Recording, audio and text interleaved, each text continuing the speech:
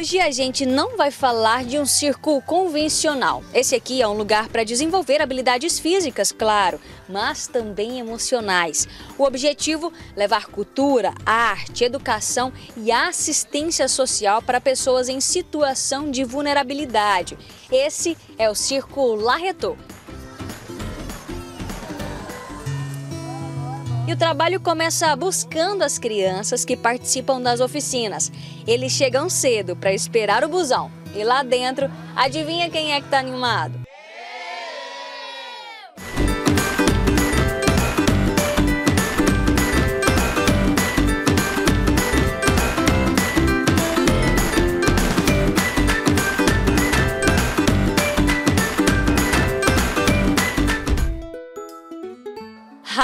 Rapidinho o picadeiro vira escola. Mas primeiro, o lanche, né, Alice?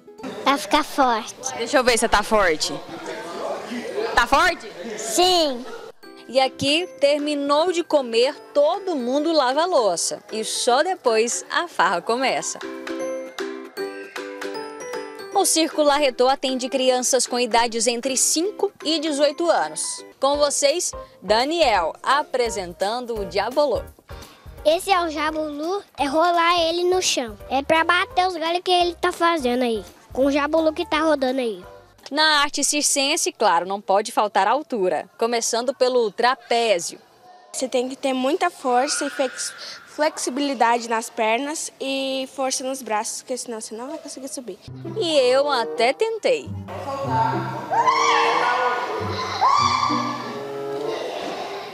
Minha nota de 0 a 10 foi qual nesse primeiro movimento? Nota 100, porque coragem é o principal. Tendo coragem, o resto fica fácil. Ele é meu amigo, viu? Porque foi péssimo. Se no trapézio a minha desenvoltura tá péssima, presta atenção no tecido acrobático. Eu não consegui sequer sair do chão.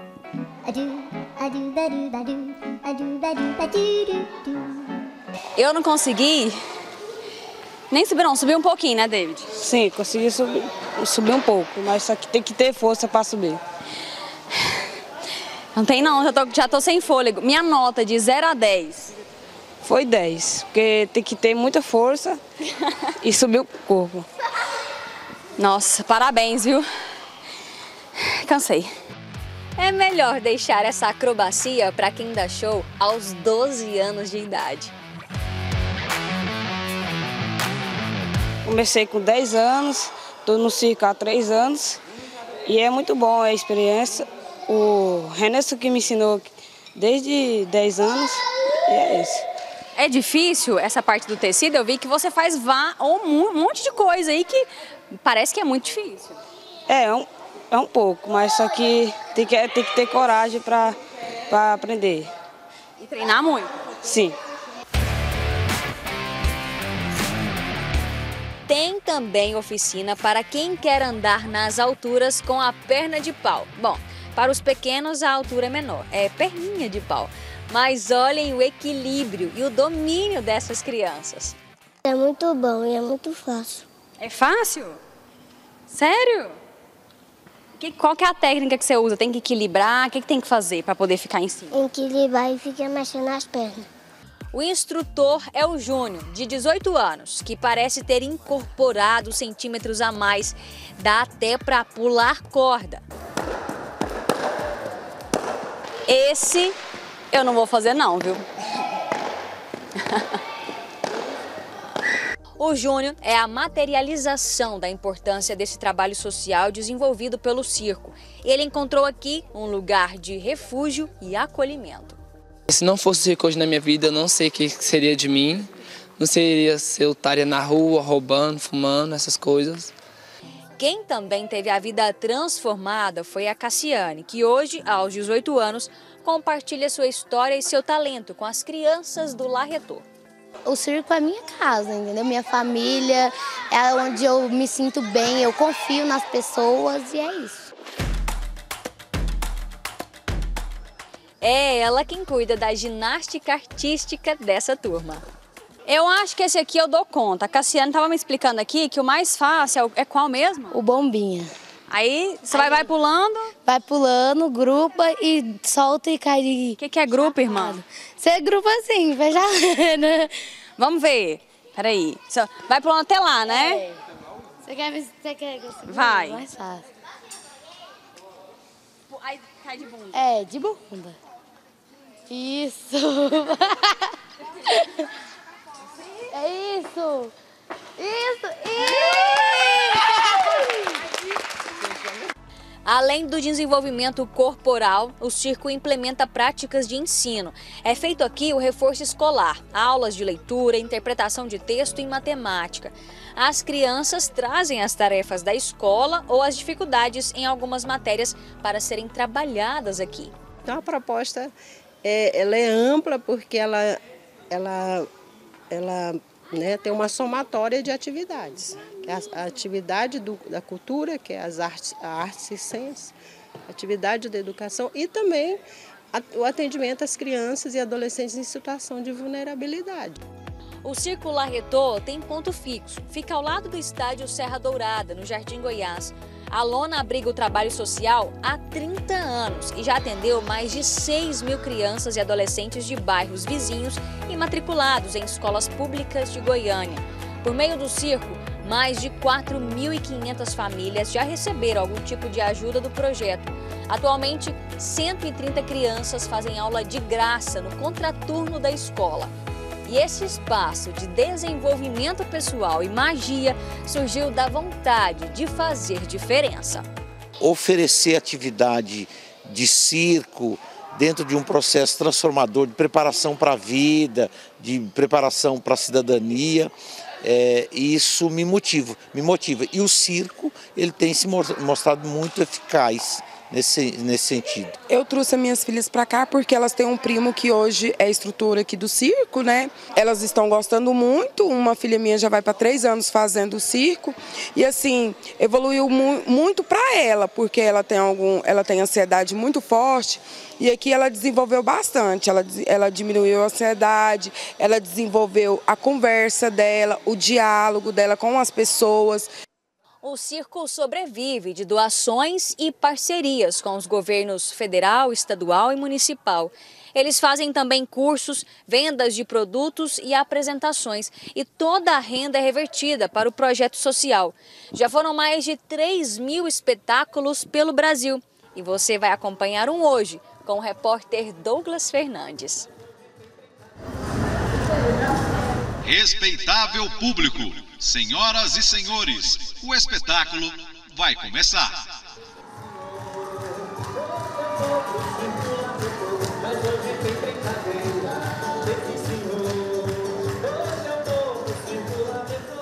Mas para, para, para tudo, espera só um pouquinho. Antes é preciso mostrar toda a preparação para o grande momento dessa galera que se esforça tanto para levar alegria e ao mesmo tempo se divertir.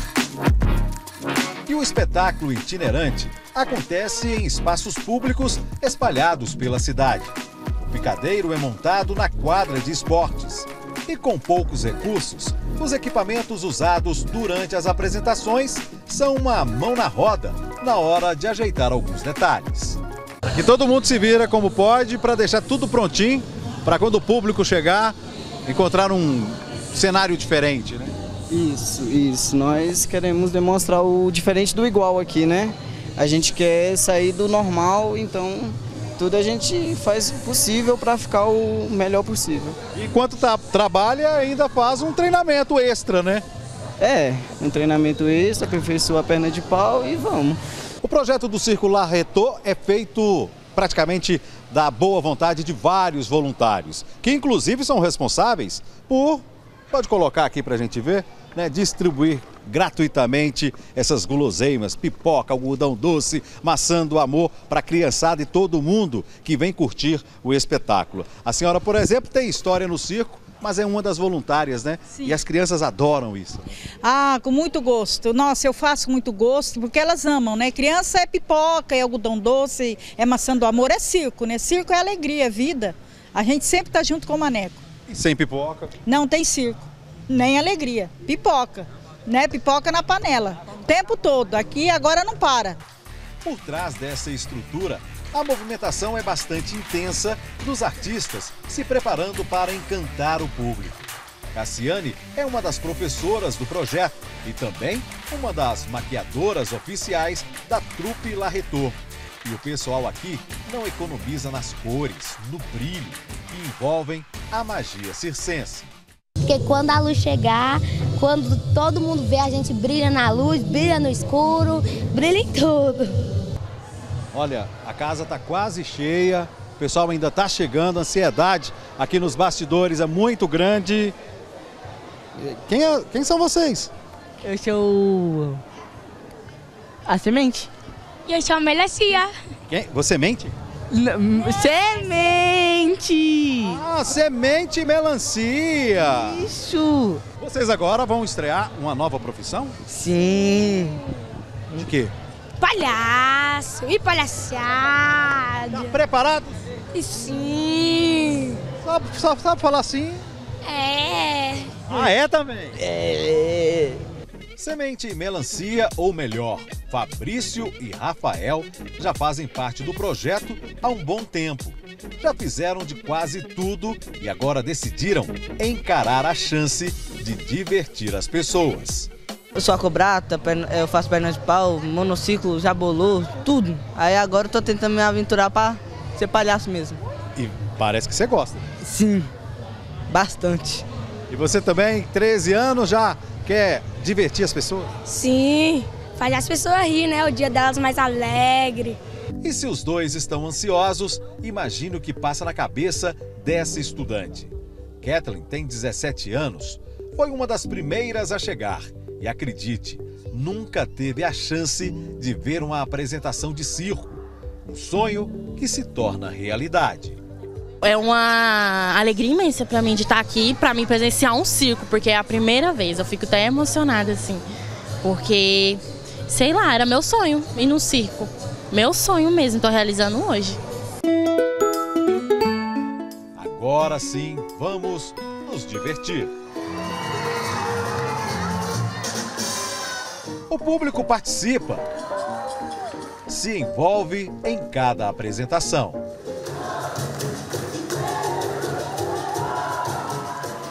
E a gente não pode esquecer da Kathleen. Veja só a reação dela durante os malabares dos artistas.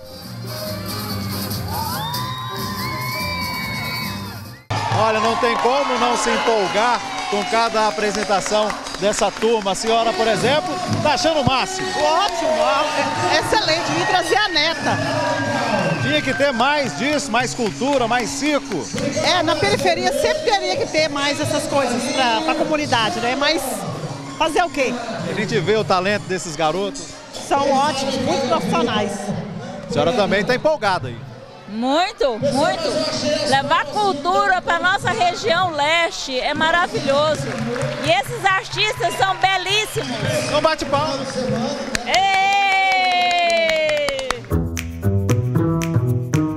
E chegou a hora também dos palhaços Semente e Melancia. A apresentação dos meninos divertiu todo mundo.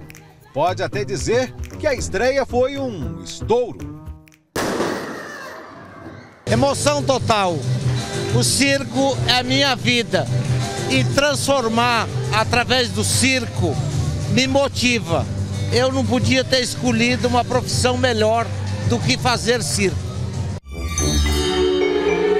E a noite foi cheia de magia, diversão, descobertas e de muitos aplausos para a arte circense.